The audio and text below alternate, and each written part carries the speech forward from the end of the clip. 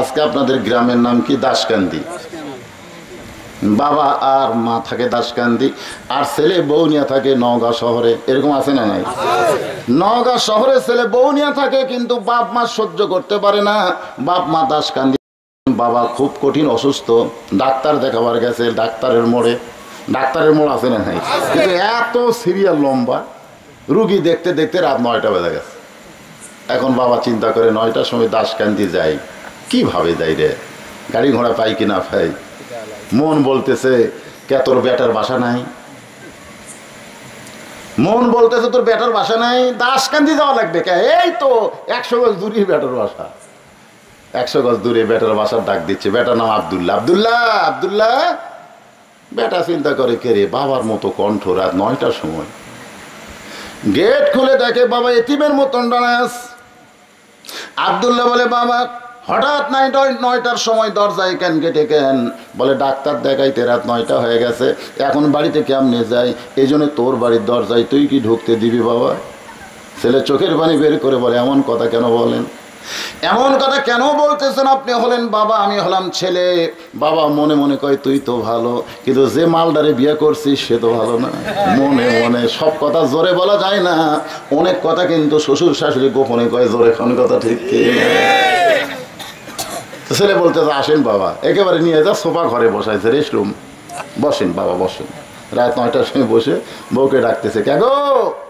বাবা আইসে গো? বউ কথা কয় না। ঘরের মধ্যে যায় দেখ কম্বল গাদ্দা শুয়ে আস কে রে বিবি? বাবা আইছে। তো শুনিনি, আগের মতো চিল্লালো। আবদুল্লা আবদুল্লাহকে চিল্লালো না? তো তুমি শুয়ে আছো, ওঠো। সকাল থেকে আমার মাজা না সকাল থেকে। পিছিয়ে খালি শিরশির করতেছে, আমি উঠবার পারব না।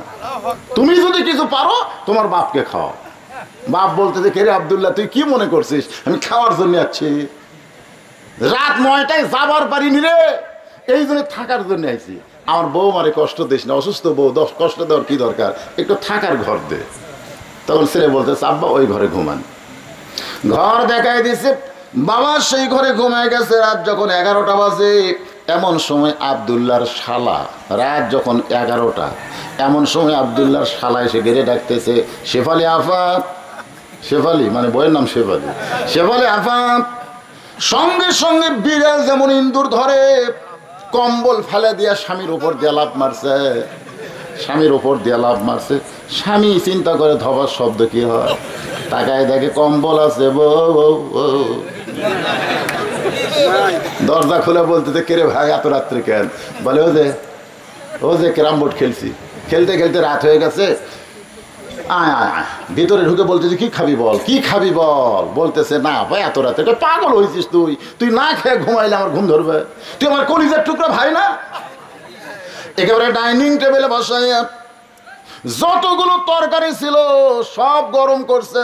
গোস্ত গরম, মাছ গরম, সব গরম, ভাত গরম করে একেবারে ভাইয়ের সামনে দিয়ে মাথায় হাত দিয়ে বলতে তো খা ভাই, তুই না খাইলে আমার কলিদার শান্তি নাই। আবদুল্লাহ মনে মনে চিন্তা করে, নয়টার সময় আমার বাবা এলো, তখন তোমার মাজা বেদনা, তোমার পিঠ শিরশির করে কম্বল গায়ে, আর এগারোটার সময়, খা ভাই খা ভাই, মারিফত কি? মারেফত তো এটা বাইরে না আসলে বোঝা যাবে না, ধরে কোন ঠিক কিনা।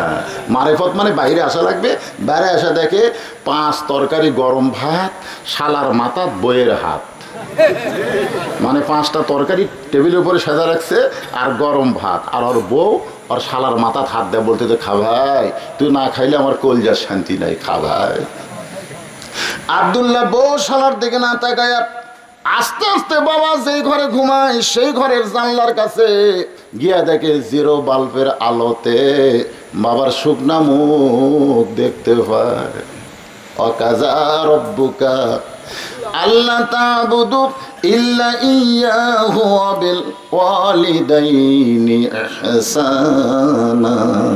জোরে কোন, সুবহানাল্লাহ। ওয়াইজা তুলিয়াত আলাইহিম আয়াতুহু জাদাতুহুম ঈমানান কোরআন বুঝলে, কোরআন মানলে তার ইমান বেড়ে যাবে। আবদুল্লাহর ইমান বেড়ে যাচ্ছে। আল্লাহ কোরআনে বলেছে, আল্লাহর পর আল্লাহর পর হলো বাপ মা। আল্লাহর পরেই হলো বাপ মা।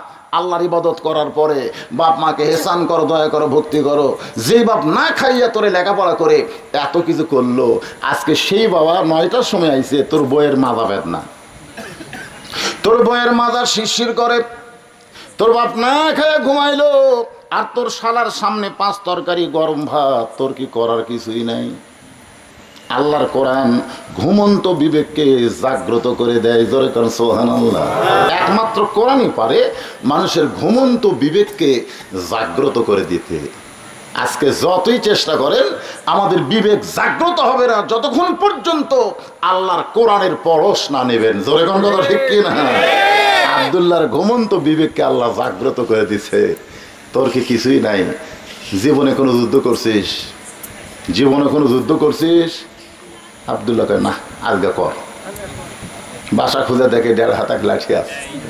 লাঠি হাতে নিয়ে খায় আল্লাহ কি দেশ বাংলাদেশ? নারী নির্যাতনের আইন পুরুষ নির্যাতনের কোনো আইন নাই। এরকম কথা ঠিক। এমন একটা দেশ আমরা পাইছি, নারী নির্যাতনের আইন আছে, পুরুষ নির্যাতনের কোনো আইন নাই।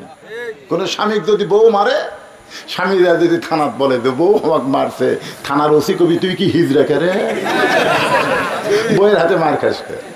আর বউ যদি যায়, কয়, স্বামী আমাকে মারবার চায় তাহলে একশো চুয়াল্লিশ ধারায় কেস হবি। মারবার চাষ করে বউ মারবার চাষ করে মারবার চালি কেস। আর মারলেও কেস নেবে না। সেই দেশের নাম কি? আরও জোরে বলেন। আবদুল্লাহ মনে মনে চিন্তা করে লাঠি নিয়ে লাঠি দেখা ছাড়া শূন্যত আদায় করা যাবে না। কি করব নারী নির্যাতনের কেস? ভিতরের বিবেক বলতেছে জাগা মতো জাগা মতো জাগা মতো বলছেন। সব জায়গাত মারা চলবে না। পেছন দিকে তাকায় দেখ উঁচা হয়ে আস। ওই উঁচু জায়গায় বিসমিল্লা বলে একটা বাড়ি মারলে একটা হদের সোয়াব। দুটা বাড়ি মারলে দুটা হদের সোয়াব। কাপড় তুলে কোনোদিন কাউকে দেখাবার পারবে না। পিছন দিকে উঁচিয়া জায়গা, বোঝেন না? কাকু দেখাবার পারবে? আবদুল্লাহ বিড়াল যেমন ইন্দুর ধরে চুপি চুপি লাঠি লুকায়, বইয়ের পিছনে সে বিশ মিল্লা পেয়েছে একটা বাড়ি মারছে। সঙ্গে সঙ্গে শালাও দৌড়বো, দৌড়। শালা চিল্লায় বলে, দুলা ভাই, আমার বোনকে মারলেন কেন? আবদুল্লাহ বলে, তোর বোন আমার কে হয়? এই, তোর বোন আমার কে হয়? তুই যে বললে আমার বোনকে মারলেন কেন? তোর বোন আমার কে হয়? বলে, আপনার বউ হয়। তুই কি জানিস, সবচাইতে আদরের জিনিসের নাম হলো বউ। সবচাইতে আদরের। যতই কন, দরদের জিনিস হলো মাও। আর আদরের জিনিস কি? কথা কন কথা কন। সবচাইতে আদরের জিনিস। বইয়ের জন্য আমরা কত কি করি আর মায়ের জন্য কি? মাও দরদ করে আমার দরদের মা আদরের বউ। আহা। কেমন আদরের? নবী আমার ঘরের মধ্যে বসে আছে দেখেন কোরআন শরীফ। নবী আমার ঘরের মধ্যে বসে আছে ইতিমধ্যে মা আয়সা ঘরের মধ্যে ঢুকছে। যে ঘরের মধ্যে ঢুকছে নবী আস্তে করে দরজা জানলা বন্ধ করে দিছে। ও মাহাতুল মমিন আয়সা থরথর করে কাঁপতেছে। আল্লাহ রাসুল বলে আয়সা কাঁপো কেন? বলে, হুজুর, আপনার জুতার পরশে আল্লাহর আরজ ধন্য হয়ে গেছে। আর সেই ঘরে যদি কোনো বেয়াদবি করি এই জন্য আমার শরীর কাঁপতেছে। আল্লাহ রাসুল বলে আয়সা আমার জুতার পরশে আল্লাহর আরজ ধন্য হয়েছে কখন? যখন আমি নবী ছিলাম, তখন। আয়সা কয়, হুজুর, আপনি নবী ছিলাম মানে আপনি তো এখনও নবী। রাসুল বলে হ্যাঁ এখন আমি নবী নাই। আয়সা বললেন, হুজুর, এখন নবী নাই কেন? বলে দরজা জানলা যতক্ষণ খোলা থাকে, ততক্ষণ আমি হুজুর থাকি, নবী থাকি। কিন্তু জানলা, দরজা যখন বন্ধ হয়, তখন আমি স্বামী হয়ে যাই। আপনাকে এখানে ওয়াজ করতেছি, আমি হুজুর। কিন্তু ওয়াজ শেষ করে বাড়ির যায় বইয়ের কাছে রাত্রে ঘুমালেও হুজুর। ওটি কোনো সন্ন্যত আছে? আল্লাহর নবী বললেন দরজা জানলা যতক্ষণ খোলা আছে ততক্ষণ আমি নবী আছি। যেই দরজা জানলা বন্ধ করেছি, আমি হলাম স্বামী, তুমি হলো আমার বেবি। এই বলে নবী দুইখানা হাত বাড়াই দিলেন।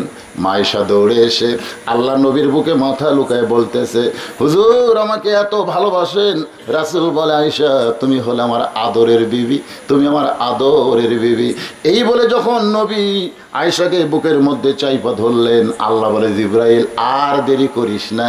লহে মাহফুজ থেকে কোরআনের আয়াত নিয়ে যা। ধরে কান সোহান আল্লাহ জিব্রাইল বলে আল্লাহ এত তাড়াতাড়ি যাবার বলতেছেন কেন?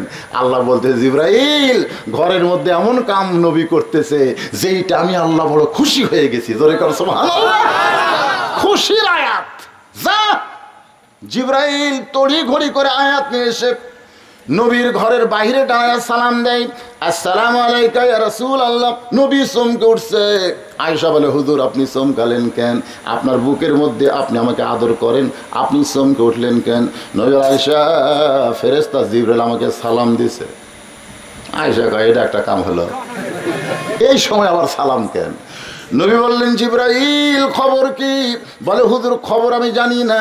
খবর জানে আল্লাহ আর খবর জানবেন আপনি। জোরে কেন সোহানাল্লাহ আমি জানি না আমি খালি ঢোয়া নোয়া করি যাওয়া আসা করি। ঢোয়ান খবর ঢোয়ান বোঝেন না পিয়নের কাম বোঝেন না। খবর কে জানে? আর আপনাকে জানায় আল্লাহ জানে আর আপনাকে জানায়। এই জন্য হাদিস হবে আল্লাহ নবী বলেছেন, আমি যা জানি, তোমরা তা জানো না। আমিও জানি না যতক্ষণ আল্লাহ আমাকে না জানা। অনেক ভণ্ডরা কয় না, নবী গায়েব জানে। নবী গায়েব জানে না রে, আল্লাহ হচ্ছে আলিমুল গাইব আল্লাহ হচ্ছে গায়েব, নবী হচ্ছে গায়েবের খবর দেনেওয়ালা। জোরে কোন কথা ঠিক কিনা? গায়েবের খবর দিবেন নবী, আর গায়েব জানেন আল্লাহ। যারা বলে নবী গায়েব জানে, এমন কথাও কয় যে আমার পীর সাহেবও গায়েব জানে। কারণ জুতিয়ার বাড়ি তোর কোন কথা ঠিক কিনা?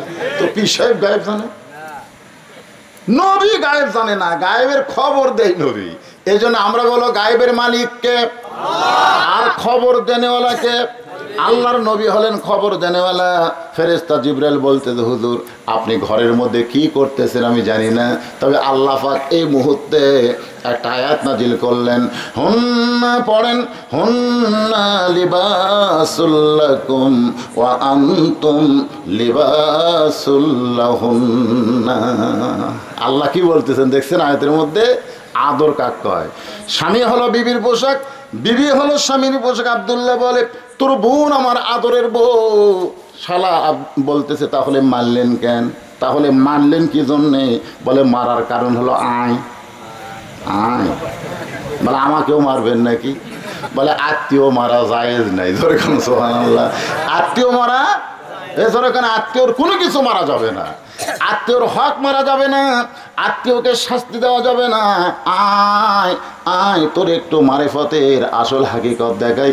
এই বলে শালার হাত ধরে, বাবা যে ঘরে ঘুম পাড়তেছে ওই ঘরের জানলার কাছে। তাকায় দেখ তো ঘরের মধ্যে কে? বলে, আপনার বাবা। নয়টার সময় আইছে। নয়টার সময় আইছে, তোর বোন কইছে মাজা বেদনা, পিঠ শিরশির করে। আমার বাবা না খেয়ে ঘুমাইছে, আর তোর সামনে এগারোটার সময় পাঁচ তরকারি, গরম ভাত। এখন বল রে শালা, আমার আমল কি? এই মুহূর্তে আমি কি আমল করব? আল্লাহ বলেছে, নেক আমল করো। এখন বল, আমার আমল কি? শালা বলতেছে, আর একটা মারেন। শালা কার পক্ষে আর একটা মারেন।